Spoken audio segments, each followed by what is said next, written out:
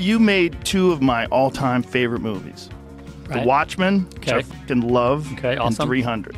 Okay, awesome. Those, are t- if I have like a top 20 list. I've never like formally put together a top 20 list, but those are in there. that was a low budget movie. You know, we couldn't get 300 was a low-budget movie. Uh, yeah, because we, I mean, we shot it all on stage, 60 days.